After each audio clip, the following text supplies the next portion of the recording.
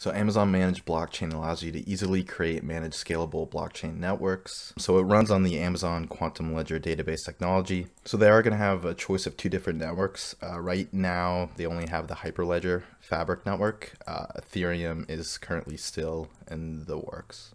Um, it's integrated, so you get to send blockchain network activity from Amazon Managed Blockchain to AWS Analytics and they give some sample use cases down here. So financial services and supply chain. So let's go ahead and create. So as we can see, uh, we have Hyperledger Fabric 1.2 selected. Ethereum is coming soon. So it creates a permission blockchain networks with access control features. Uh, we're going to go ahead and just go with the starter.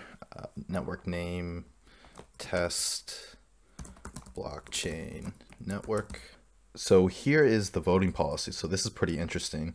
Essentially, you can create proposals to remove or add new users. Right here, you can select uh, what the voting threshold is. So you can say greater than or greater than equal to, and you could set the uh, the percentage right here. So I'm gonna go ahead and leave it at 50%. So the proposal duration is how long the proposal are open for voting.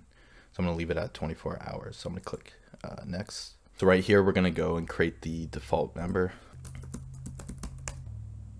So this is a certificate authority for the Hyperledger Fabric network. Okay, now that that's all set.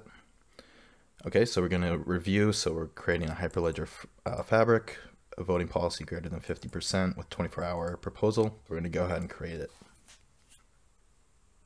As we can see, that's now uh, being created. So if we take a look at members, here's our admin member here.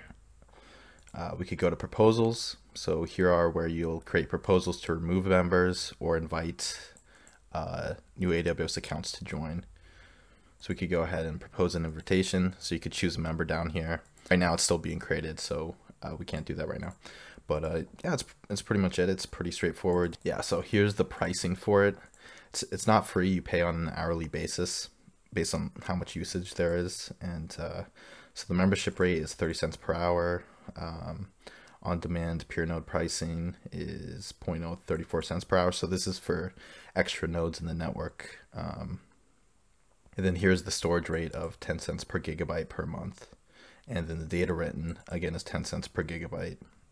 And they also have AWS data transfer charges, which are uh, standard. So yeah, once you have this set up and created and you try out adding and removing members, you probably want to go and delete it because it does cost you per hour that's set up. So I'd make sure to go ahead and delete it after it sets up.